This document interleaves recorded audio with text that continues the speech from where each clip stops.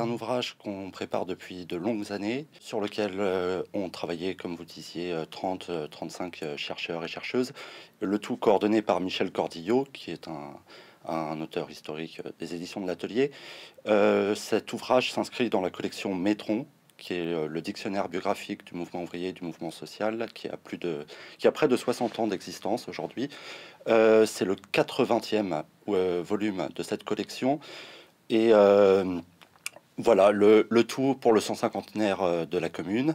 Donc ça nous semblait un, événement à, célébrer avec un, livre d'ampleur et un ouvrage qui, ici, s'inscrit dans la collection du Métron, sort un peu de l'ordinaire par rapport à ce qu'on a l'habitude de faire dans cette collection, puisque pour la première fois, euh, aux biographies euh, classiques euh, s'ajoute tout un tas de contenus thématiques sur des lieux, sur des, des aspects de la commune qui étaient méconnus et le tout très richement illustré. La commune de Paris, oui, elle, elle éclate après la défaite face à la Prusse et le siège de Paris qui a duré plusieurs mois et qui voit la population parisienne exsangue. Il s'inscrit aussi dans un contexte politique euh, dur, puisque euh, la République, euh, on sort de, de l'Empire, la République n'est pas installée, et l'ébullition sociale à Paris, comme ailleurs, est très forte. Donc il y a toute une série de, de, contextes différents à prendre en compte pour comprendre l'événement commun.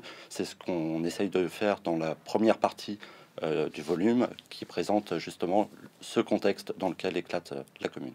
Les acteurs ont reproduit dans le dictionnaire près, de, près de 500 biographies euh, d'acteurs et d'actrices euh, de l'événement. Euh, mais sur le site du Métro en ligne, qui regroupe plus largement la biographie de l'ensemble de ceux et celles qu'on a pu repérer, c'est 17 500 biographies qui sont, qui sont disponibles en ligne. Donc voilà, présenter les acteurs, c'est un peu compliqué car évidemment ils sont multiples.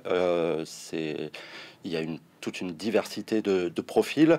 On a des figures évidemment très connues euh, qui sont passées à la postérité, Louis Michel, euh, Jean Allemann euh, et d'autres, d'autres beaucoup moins connus. Et c'est cette diversité justement qu'on a essayé de, retracer, y compris en, la poussant à son paroxysme, puisqu'on on reproduit la biographie sous le nom de X du communard inconnu dont on ne connaît que le, portrait et qui est un des communards euh, exécutés euh, lors de la semaine sanglante au Père-Lachaise.